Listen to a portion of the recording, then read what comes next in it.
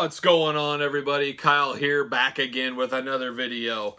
And today we got a little figure reveal from Marvel Legends of Kingpin in the uh, Marvel Throwback Retro Collection of Spider-Man the animated series. You know, early 90s Spider-Man animated series, X-Men animated series, I was all in on a Saturday morning, like probably a lot of you guys as well. But uh, they were releasing the Kingpin. Now, if you guys remember, Kingpin was part of the Build-A-Figure line. Oh, year, year and a half ago that came out, which uh, very tough to get piece. Uh, you know, obviously, as a lot of Build-A-Figures are, very pricey, with uh, Kingpin going for well over a $100 on eBay. So check eBay today. I guarantee those are dropping like a, you know, sinking like a ship, uh, the prices on those, unfortunately. However, you know, they are changing these up a little bit, uh, making it not a total re-release, but they're going to have a little bit of difference uh, to them. Um, the new Kingpin has a little ascot instead of a, a tie like the Build-A-Figure edition. Uh, a little ascot, and it's actually cartoon, or not cartoon, but comic book accurate. Uh, at least of what I've seen dug up today. I'll throw a picture up here as well for you guys to see, but it's more comic book accurate compared to cartoon accurate. Um, I'm glad they made a little bit of difference, a little point of difference in there. It goes a long way for us collectors that spent money.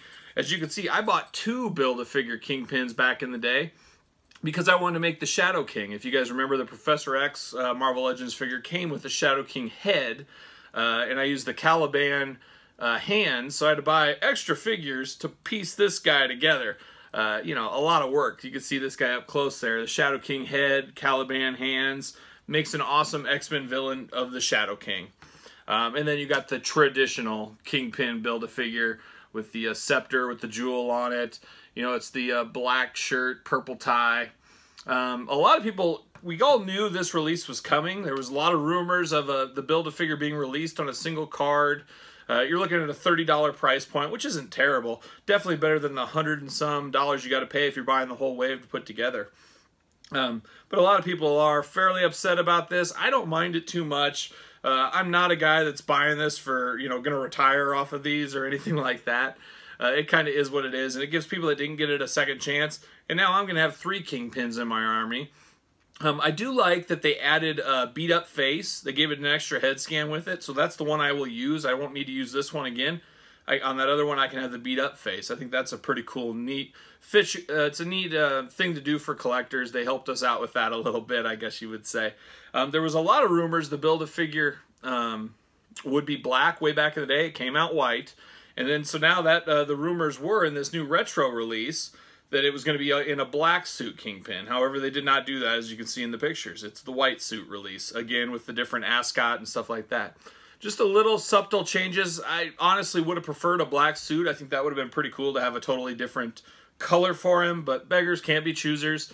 And these uh, these monthly uh, May 1st, June 1st, every the first of the month, Hasbro is announcing a new figure in the Marvel Legends lineup, which I think is a cool thing. Nod to fans, gives you something to look forward to. Um, and you don't have to buy these. I mean, it's not like the Build-A-Figure. You got to buy a bunch of them to build them. It's just a one-off straight release, fan channel exclusive. Um, you you could decide if you want it or not. Kind of like the Venom Marvel Legends that just came out. It's the same kind of concept. It was a Build-A-Figure. Now they've released it on a solo card with some paint differences. I will have that figure soon, and I'll uh, probably do an unboxing on that one once it comes in. But that's just kind of a Kingpin update, I guess, out there. You know, let me know in the comments. Are you going to pick up a Kingpin? Do you need a Kingpin in your Marvel Legends set? Um, let me know. Um, besides that, that's it. That's just a really quick update on the Kingpin uh, release coming out. I don't know if I said it or not, but it sounds like that's coming out in uh, early August to mid-August is uh, the plan for that one. I believe the Mysterio might be somewhere around that same time. Some I've seen some say October, but I've also seen some say July. So I got to think it's coming before we'll get the Kingpin. But you know, we'll see. But like I said, comment on the video. Let me know your thoughts on the Kingpin. Um, don't forget to like the video and please uh, subscribe to the channel. Uh, I appreciate everybody out there watching. Until next time, we'll see you later.